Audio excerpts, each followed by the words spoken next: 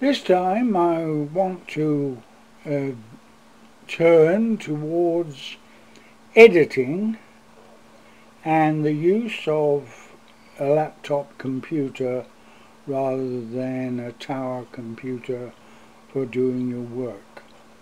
Mainly the laptop computer is portable.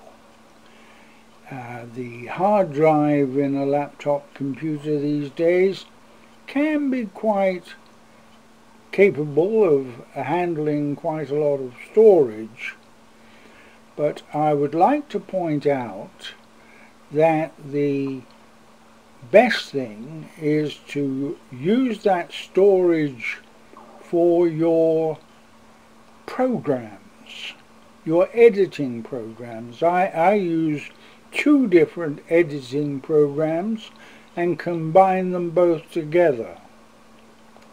And so that what I suggest, as you can see in this uh, first clip, is the uh,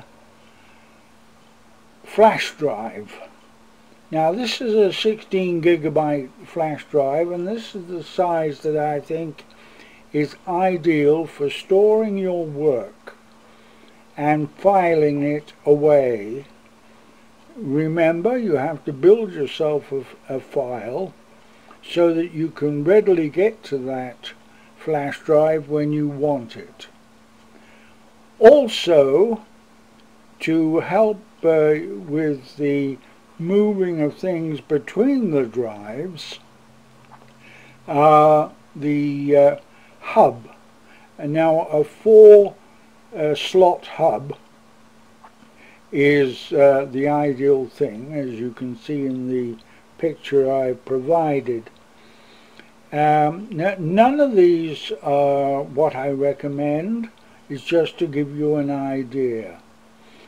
The uh, matter of fact, the type of uh, hub that I have has three ports on one end and one in the end, and uh, it is uh, an ideal because it has enough room for the flash drives to plug in without jamming up against one another.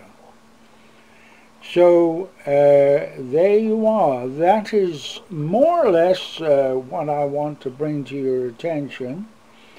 Try and keep your laptop computer uh, programs for what you want to use.